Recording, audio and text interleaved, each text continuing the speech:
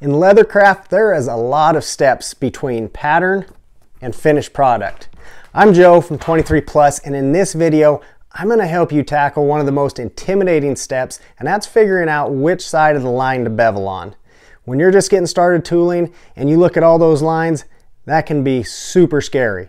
But I'm going to show you a few fundamentals that's going to help you along the way and really simplify that big mess of lines. Let's head over and check it out. I'm going to try to break this down and make it as simple as we can to figure out which way each of the lines go. Anytime that I have a hard cut border like this where there's nothing going over top of the border, the border sits on top, everything else is tucking underneath, I'm going to go by first, uh, I'm going to get my big wide bevel out here and we're going to run along and bevel that border in.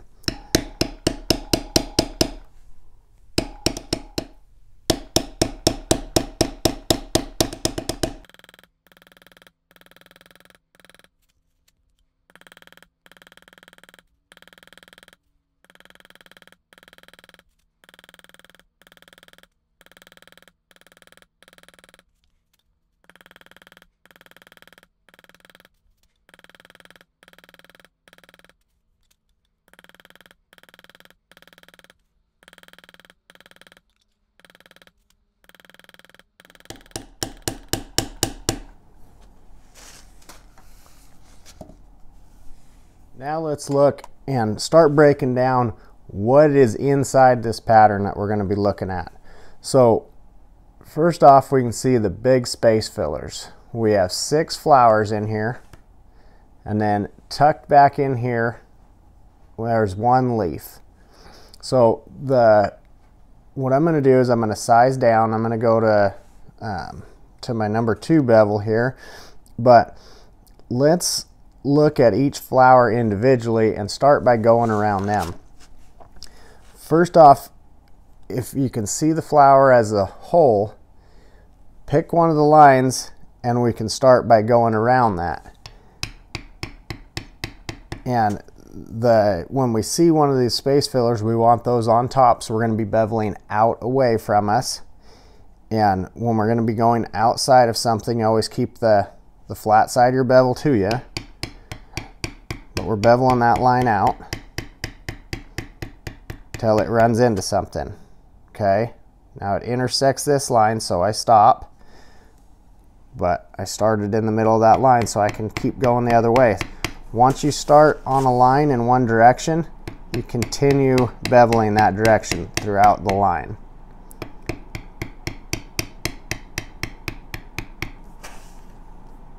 Continue all the way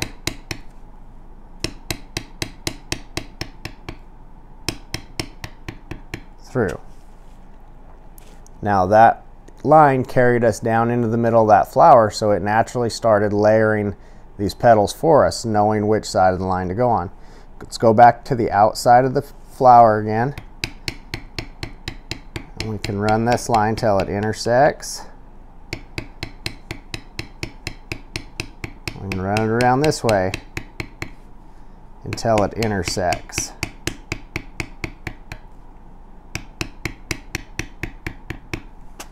See, we ran into another line, so we have to stop. This one here, we can run both directions.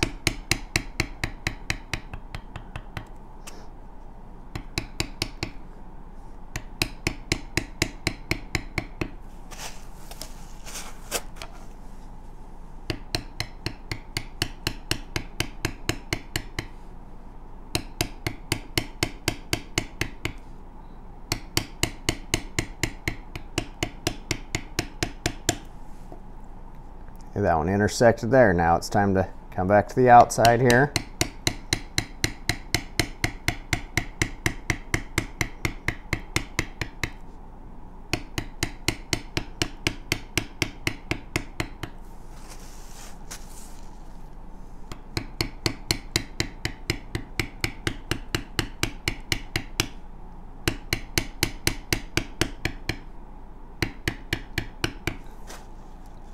Intersects, switch over to the other one.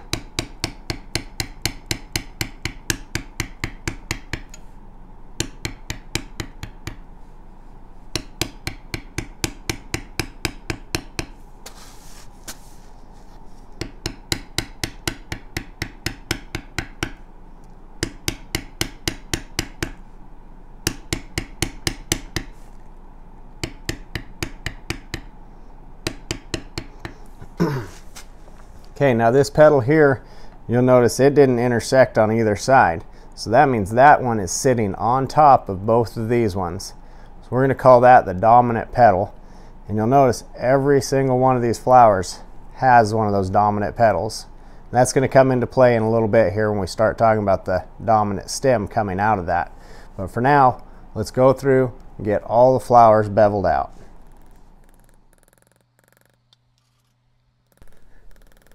Hey there, I hope you're enjoying this and getting a ton of value out of it. We still got a lot left to go, but I just wanted to jump on here real quick and say, if you enjoy this step-by-step -step instruction style and you wanna dive deeper into leathercraft and into your tooling and construction, I really encourage you to check out the link in the description below for the Leather Life Classroom.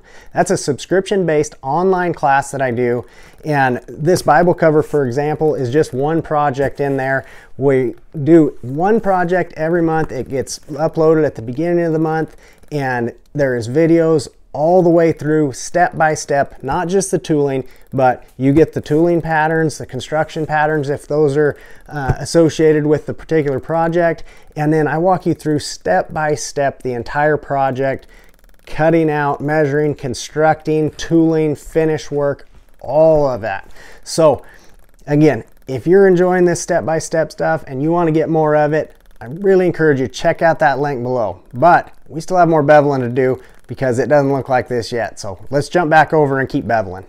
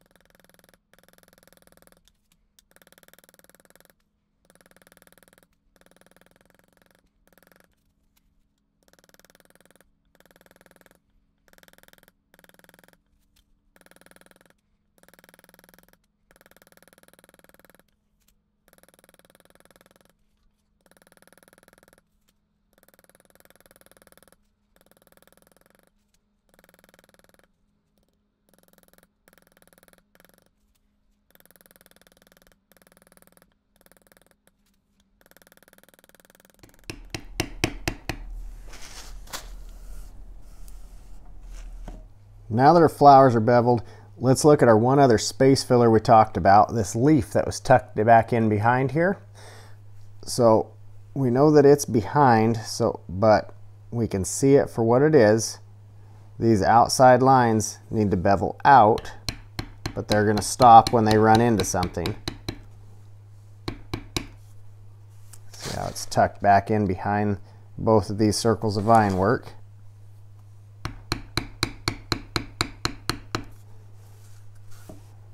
Same on this side.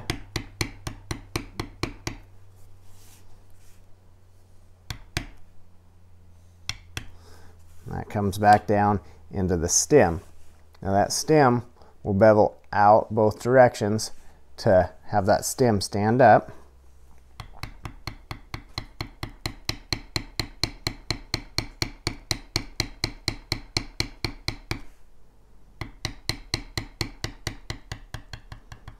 Till that intersects.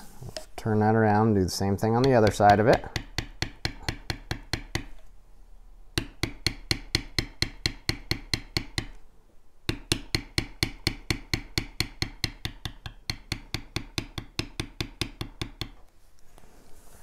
Okay, now that takes care of all of our big space fillers in this pattern. Now it's time to work through our vine work and start getting that figured out.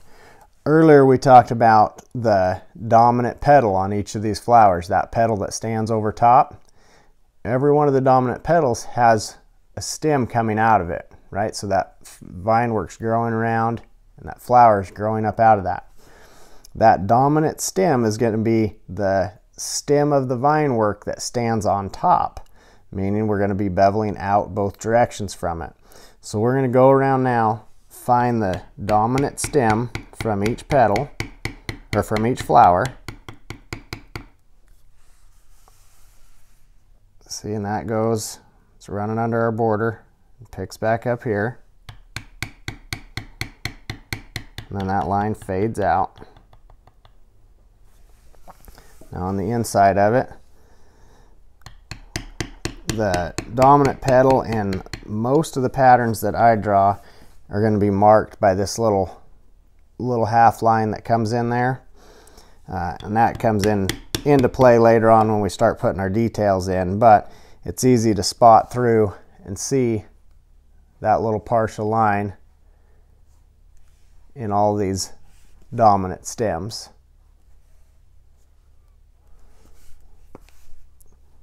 Okay, the inside, same thing. We're going to bevel out away from that stem.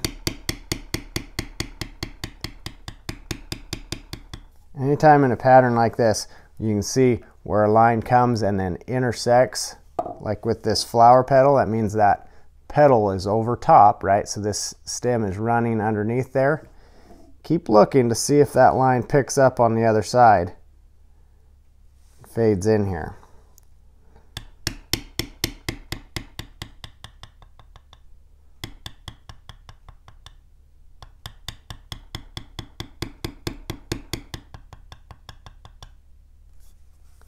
Okay, that one just fades fades off into that petal and doesn't pick back up over there, right?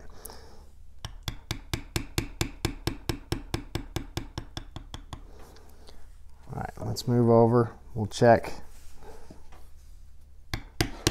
this flower here. We're to go around for that dominant stem. Runs underneath that border you can see it picks up right here.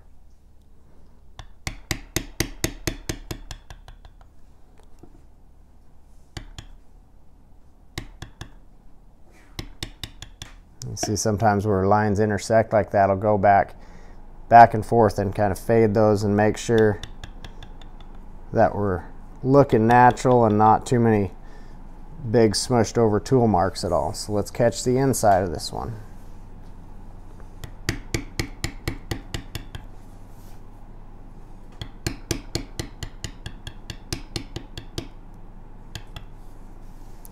Run under this petal here. Does it pick back up? Right there.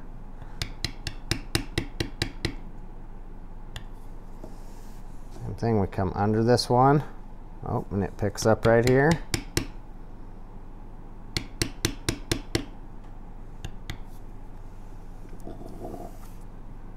This one actually continues to pick up. We keep following right around.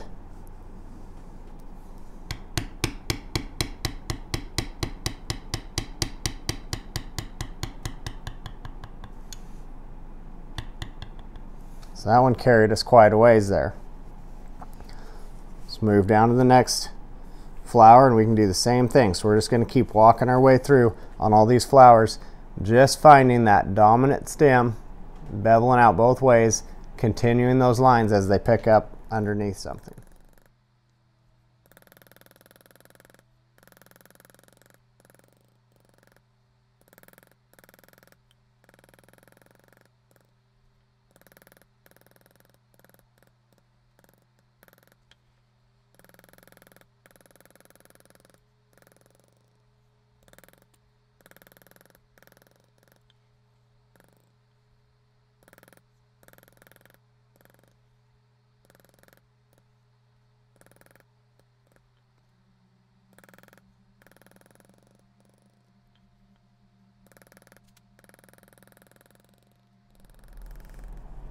All right, after we have that dominant stem beveled all the way through, now we can start working our way out from that.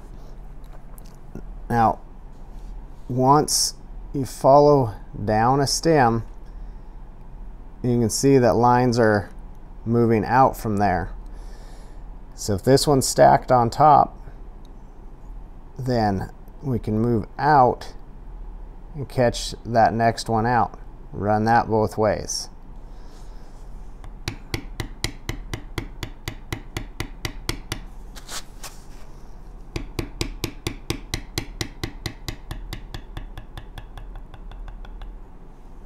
Because that's what's going to layer those vines as they head out from there.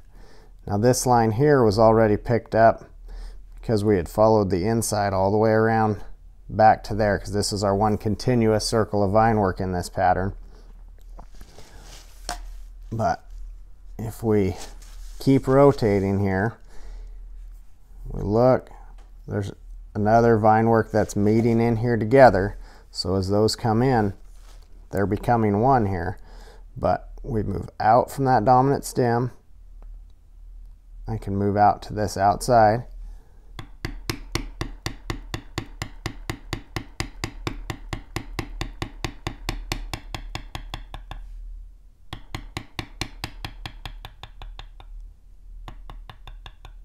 So that fades out.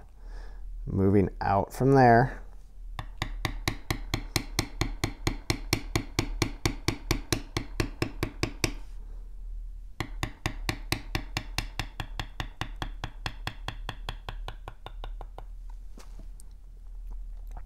Moving out from there, this next big long line.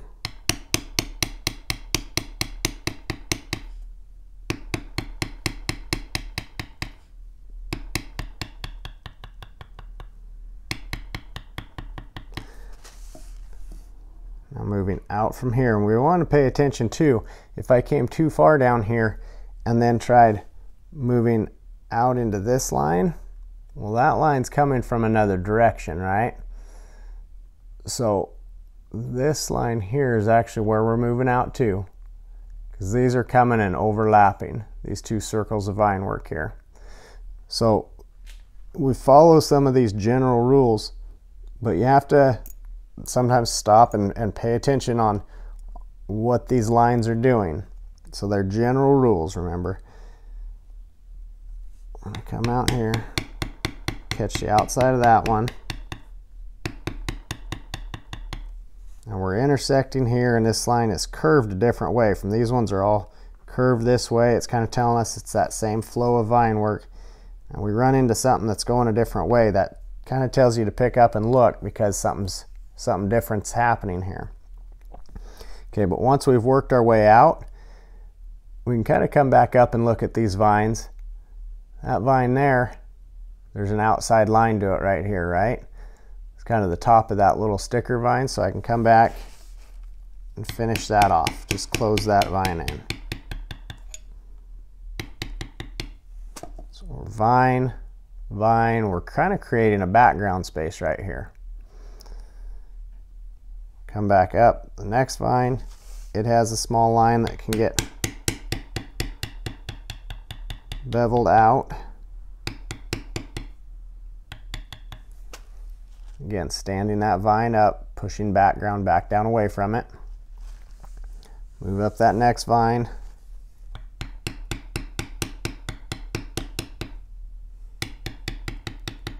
That can get finished out. So we're to keep going through that all the way through this pattern. Again, just looking, looking at where we're at, moving in. So this dominant stem here comes down. You see it kind of would fade off somewhere behind this uh, behind this petal here. This is our next one in. So we're going in. That's going to come up. This vine is coming in here. And we can close it off.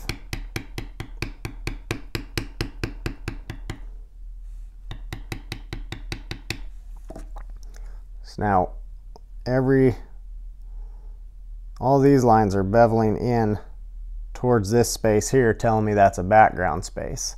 So the other thing that you can do when you have your original pattern, if the backgrounds are marked on that, then as you're transferring your pattern, you can put a little dot in the middle of all your background spaces. That's going to help you as well, just kind of see some of that stuff. Okay, this vine works coming around. We can keep working through the inside of that.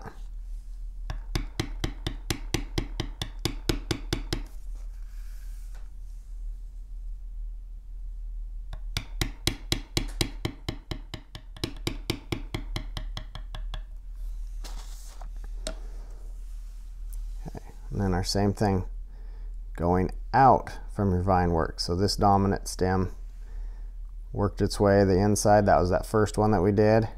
Came all the way back. Now we can move out from there.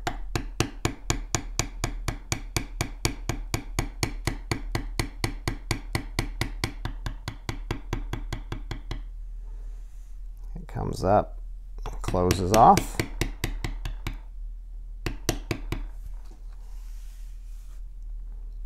It's tucking under our border, comes back out here.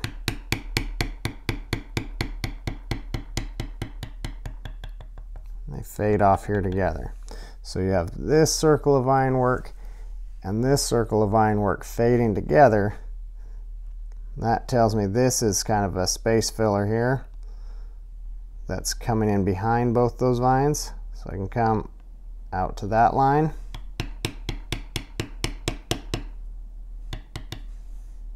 Same thing on the outside of it there.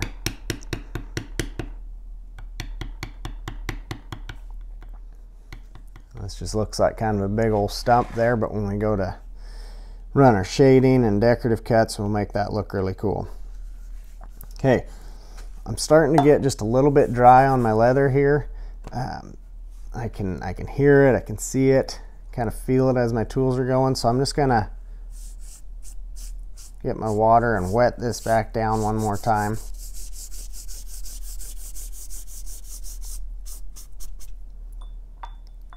See it kind of sucking in there, so I'm just gonna put one more wet down here.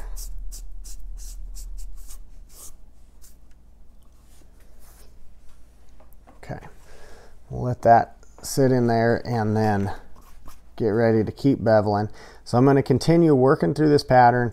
Again, just looking for that dominant stem coming out and then building out from that. Take that up till it intersects something and then I can come up that vine and close that off by beveling out. So we're going to keep working our way all the way through our vine work, looking for where that dominant stem is, beveling out both directions to the inside, to the outside, and then closing those vines off.